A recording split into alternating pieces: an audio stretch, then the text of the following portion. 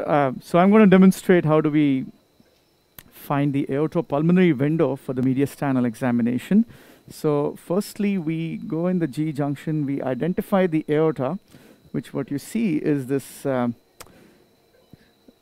anechoic structure here, right there, and just to show you that there's a lot of pulsatile flow in there, all right?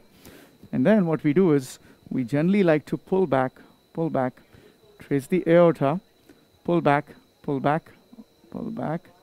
So we try to go into the mid esophagus here. Okay. Reach till the aortic arch right there. So it's sort of ending there as you can see. Okay. So when we reach there, we use the big wheel towards us. Okay, I'm going to do this again for you. Okay. Yeah, right there. So now here's the aortic arch where it ends. I'm going to use the big wheel towards me and push the scope gently in. Okay.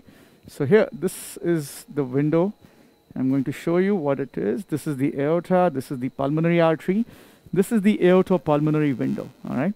So this is where you find mediastinal lymphadenopathy in select cases. You may have to FNA those lesions, not in this one. Okay. So I'm going to show it to you again. So we are going to go to the G junction, right?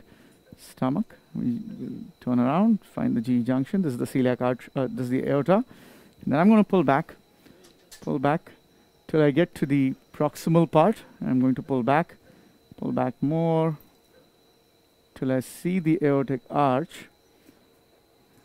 Okay. So here we go. So it's the aortic arch there. And then I'm going to push a little bit with a gentle clockwise torque. Okay, here we are. So this is uh, big wheel towards me. Can you show that big wheel towards me? Okay, so I'm going to use my big wheel towards me and I'm going to gently clockwise torque. Can you show the clockwise torque on the scope?